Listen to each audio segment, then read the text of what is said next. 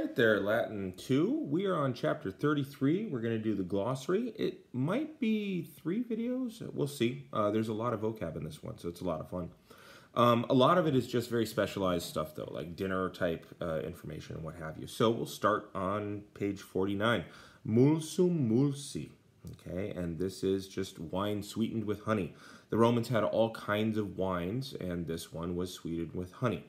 Um, there used to be a word that I knew. Uh, there might actually be a modern equivalent of this, but as I don't drink, I don't know. Uh, the next one, ferculum ferculi. Okay, now this is a neuter. Uh, it's not to be confused with ferulu or ferula. Okay, so ferculum in the plural is fercula. And these are serving dishes. Okay, so big platters. You could actually just say platter. I'm okay with that.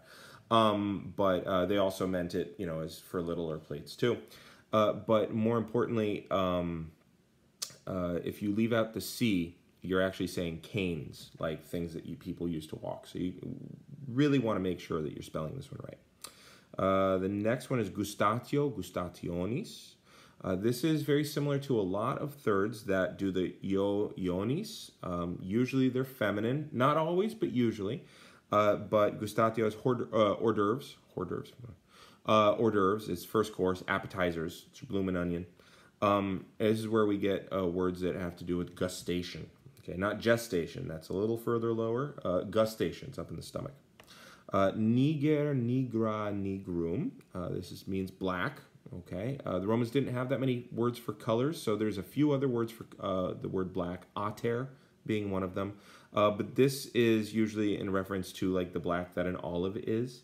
Um, so first off, you will see that this absolutely informs French and Spanish, right? So when the French conquered and stole parts of Africa, they named one area Niger, okay, because they didn't have any imagination whatsoever, and they looked at the people, and they're darker than us, therefore it's black.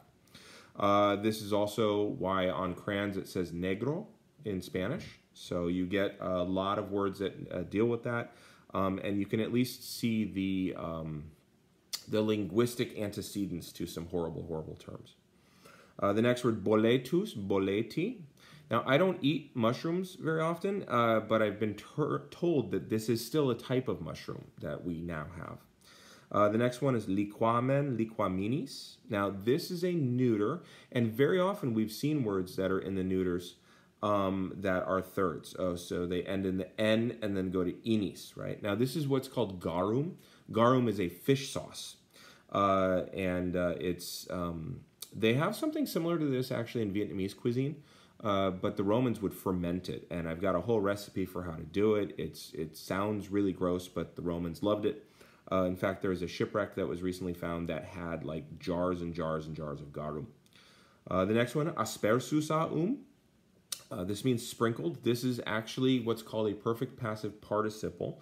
I will give you a lesson about that very shortly, uh, but it comes from the verb uh, aspergo aspergra, which is to sprinkle or to spatter.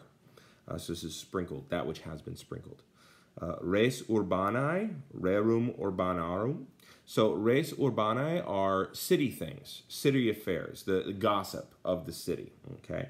Uh, the next, and so it's just literally urbanus aum with res, and since res is feminine, and since res here is plural, it, you know it fits. Pestilentia, pestilentiae means plague. It's where you get the word pestilence from. Uh, obviously, is where you get the word pest from. Okay. Uh, poculum, poculi. Uh, this is a goblet. Don't translate it as a cup. Translate it as a goblet. So it's one of those uh, cups that you see sold in novelty stores, usually with a bad word written across the front. Uh, let's see, locus, loci. Uh, this means place. This is the locus is the center of a circle. Uh, it's where the compass hits down and then draws the circle. Uh, location, obviously uh, the locative case we'll get into later. Um, so there's a lot of words that have to do with this. Popina popinae. Uh, this is an eating house or an inn slash bar. Uh, and I always think of it as like, oh, I'm just going to pop in an inn, right? So I'm going to pop in an eating place.